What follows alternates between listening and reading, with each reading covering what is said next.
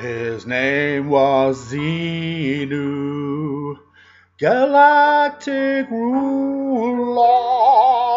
He called them all in for tax inspections, and then he froze them in alcohol and glycol, boxed them up in boxes, and flew to Teegeeack.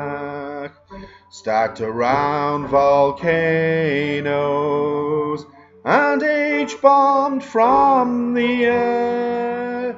Tremendous winds soaked everyone up to watch bad movies about God and the devil.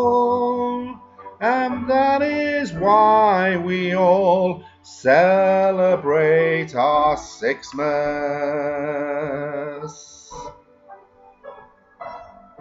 Happy R Sixmas, everybody.